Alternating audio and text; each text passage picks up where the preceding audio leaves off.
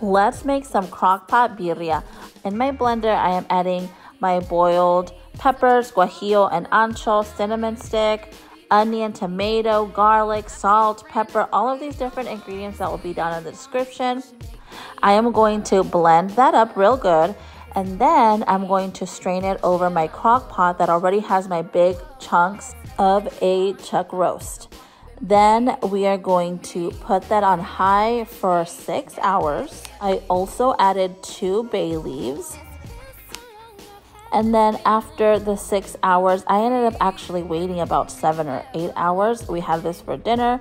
I left half of it in there for the next day as leftovers, and then I shredded everything and I made them into tacos. And guys, this is absolutely delicious. If you haven't tried it, you gotta make it. Shout out to my sister for teaching me how to make this. Thanks for watching.